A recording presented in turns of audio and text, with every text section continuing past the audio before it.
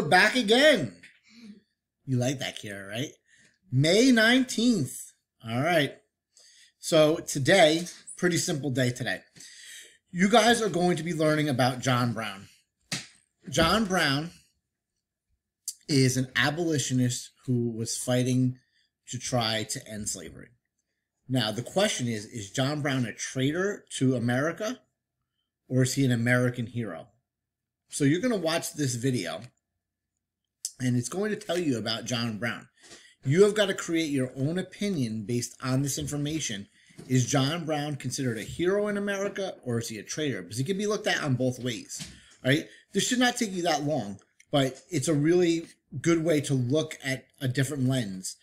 Some people can say John Brown's a hero because of the things he did, and some people can look at John Brown and say, well, he's a real traitor. He's a he's a villain in American history because of what he did. So you guys got to formulate your own opinion. Why do you think John Brown was a hero or a villain?